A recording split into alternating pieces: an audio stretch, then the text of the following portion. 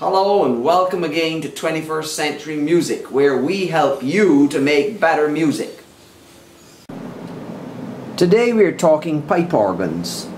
And the pipe organ, unlike other instruments, cannot really be moved around. It is built on location and becomes an integral part, acoustically, of the sanctuary in which it's constructed.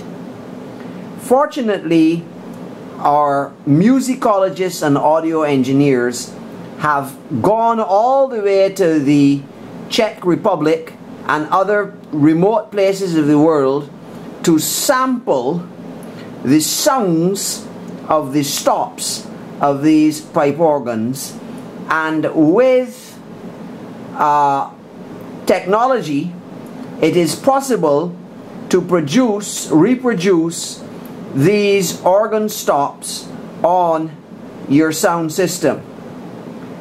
And it's not really synthesis as such because they're the actual recorded sounds of the genuine instrument. However, the quality with which they are reproduced is going to depend on your sound system as well as your computer speed. Since these samples are fairly large and there are many of them, it's going to be impossible in most cases to play this on a laptop. You're going to need a very powerful system and uh, either it would have to be a very high-end laptop or maybe one of the upper-end MacBook Pro but it needs a lot of processing power and above a very fast hard drive to stream these samples the more stops you combine. Now, the stops from the various pipe organs, and there are six of them in the classic pipe organ collection by Garritan. Most of them are recorded within the Czech Republic, but there's one modern organ in Canada and one in New York. Now, we have up here on the right, I'm going to show you up here on the right. Let us go up into the preset area where you see where it says ensemble.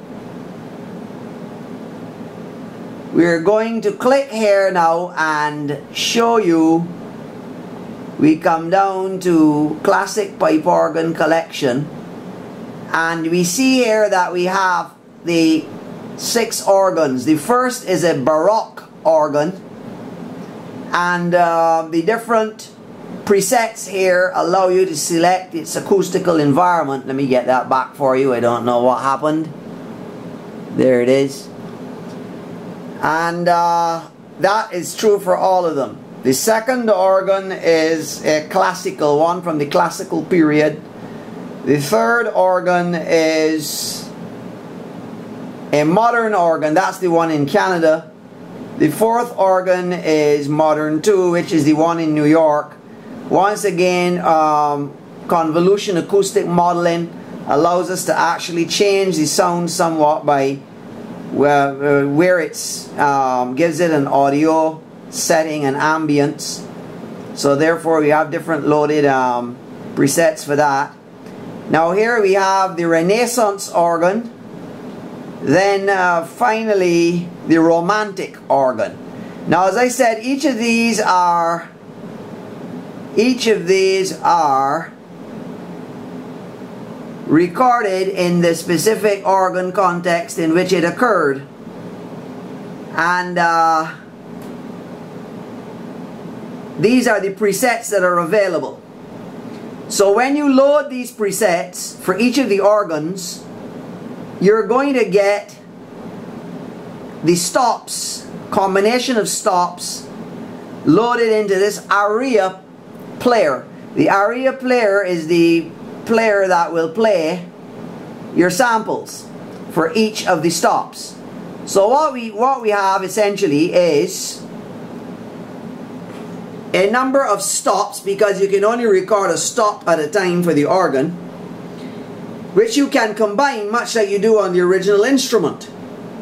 And as I see, as you see here, the aria player is constructed as basically a MIDI mixer. You can assign any one of the 16 MIDI channels to the 16 channels of this device and you could load 16, a maximum of 16 stop combinations per organ.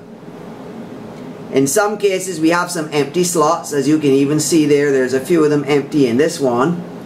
And uh, right now we've got the Renaissance organ loaded. And uh, you can see some of the stops there.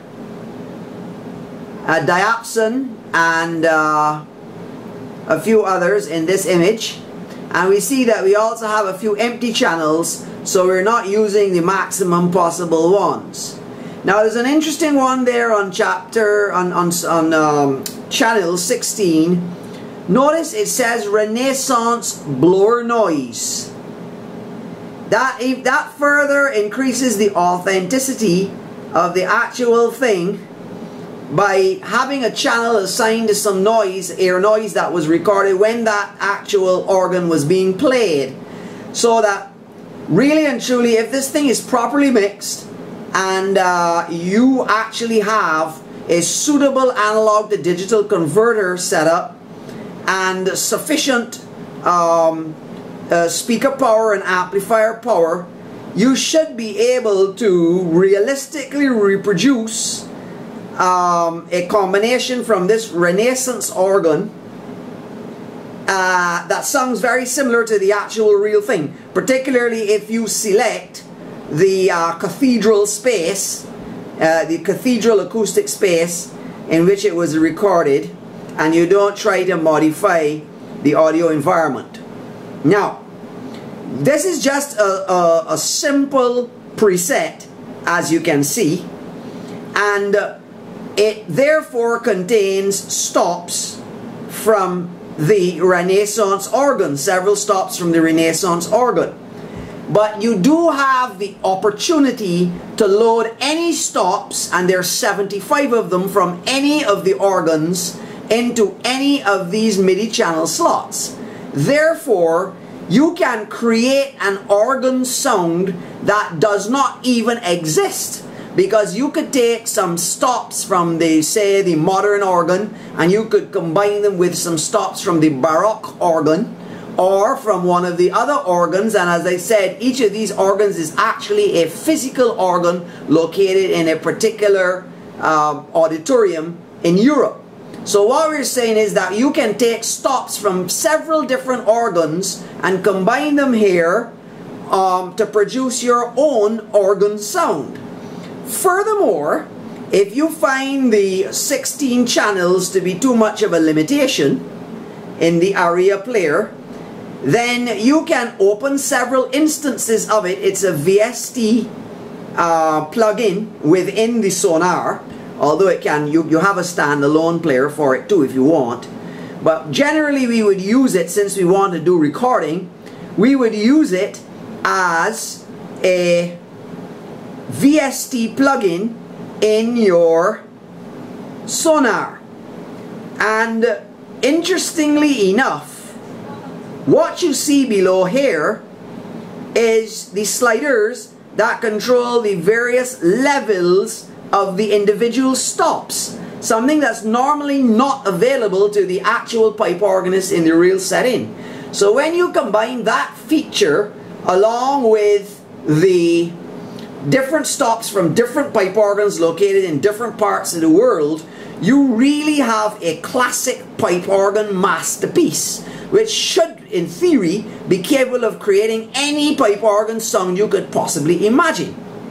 What is even more interesting is that these sliders which you see here for each of the various stops can actually be controlled from your audio interface. So if you have enough sliders on your MIDI controller keyboard, you can actually push these sliders around right above your keys as you play so that you can change your pipe organ sound in real time while you're playing it. Now the indication at the bottom, you see a keyboard there and you notice that some of those keys are in white and some are not. The white keys is the range of a particular stop selected. You will remember that the manuals in many of these churches are small. In some of these churches that may be no more than four octaves and uh, therefore you're not going to get the same number of um, same number of playable keys on each of the stops which could be a little problem if you don't plan it right because you can't just go in there with your 88 key keyboard and expect to play it from one end to the other and have them sounding the same way since the timbre will change if a particular stop drops out because it's not playable within that key range that you're playing. So it's quite quick to find out the ranges of all the stops that you have activated. As you can see up here, you see a range highlighted below on the bottom. Um, if we zoom up here to the actual slots themselves, you will see that we have here a little white uh, line right under 1. You see right under 1 we have a small whitish square. What that is telling us is that this particular stop is the one selected. So the range that you're seeing in that bottom display is not the range of all the stops, but the range associated for that stopped flute there that you're seeing in slot 1. As you see, it's written 01 Renaissance stopped flutes. There, okay? Now, what, what does all this mean to you? Well, the thing about it is that for many reasons you might want to include pipe organ voices in your music. And uh, if you decide to do that, this is the best way to go. Because you're not going to get a more authentic pipe organ song that works in a sonar VST, or well, it basically VST will work with anything that's VST compatible. But it works very well with sonar. We've had no issues at all. Uh, except as I said that on a laptop, when I tried it on a laptop, even though the laptop was powerful enough to run our sonar, it was not capable of, of handling when we when we tried to load too many stops the sound broke down. The sound broke down on several points because the computer was overworked and it wasn't able to retrieve the samples fast enough from the hard drive on the particular laptop that I have. Now I've talked for rather a long time and this is making the movie extremely long and um, this is just an introduction so we'll have to split it into several sections. So I'm just going to give you a sample of the sound here now and then we will leave the rest for another video.